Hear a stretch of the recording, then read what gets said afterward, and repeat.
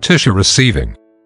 Tissue specimens received in the surgical pathology laboratory contains specimen details and patient information.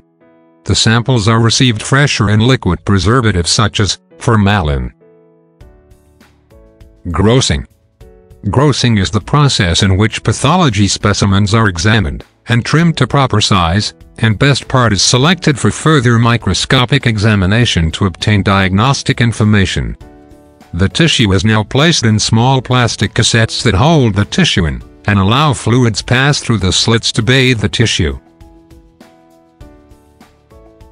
Tissue fixation and processing. An essential part of all histological and cytological techniques is preservation of cells and tissues as they naturally occur. Hence the objective of tissue processing is to stabilize the tissues or cells and preserve their morphological, anatomical and biochemical characteristics for accurate diagnosis. To accomplish this, tissue blocks, sections or smears are usually immersed in a fixative solutions. Most commonly used fixative is 10% neutral buffered formalin. Dehydration? Water is present in tissues in free and bound forms. Tissues are processed to the embedding medium by removing the free water.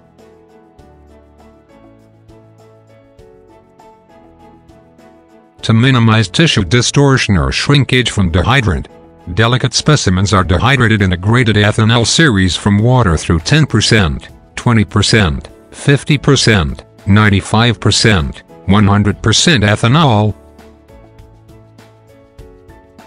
Clearing.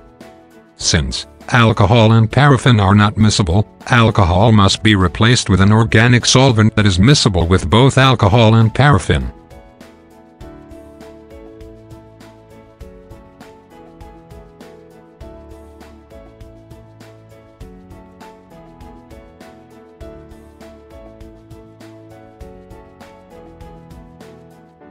The tissues are usually put through three changes of the clearing agent and transferred to paraffin.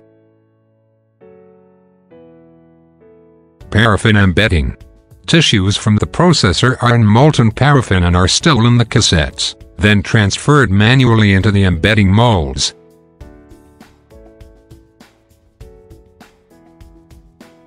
Tissues must be aligned properly at the bottom of mold, and the bottom part of the cassette containing accession number, need to place over the mold. The mold and cassette are then filled with more mold and wax. The paraffin is then allowed to solidify by putting the embedding molds on a refrigerated surface.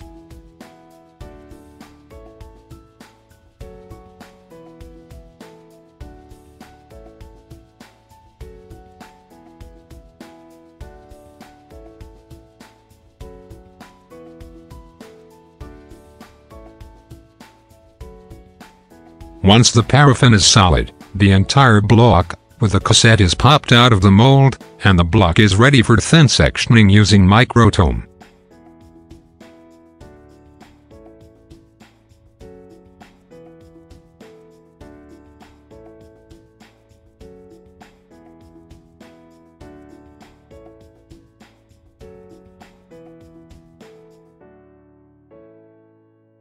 Section cutting or sectioning once the paraffin has solidified, the tissue block is removed from the mold and placed on microtome.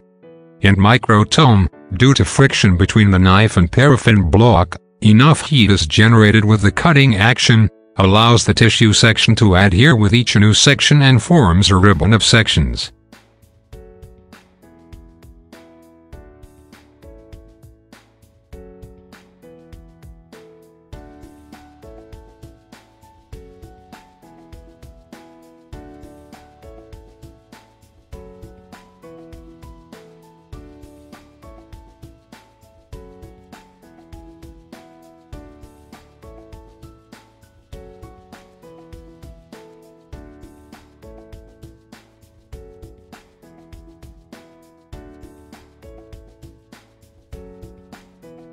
The ribbon is floated on warm water bath to remove any compression and wrinkles in the tissue caused by the cutting action and the desired section is picked up on glass slide.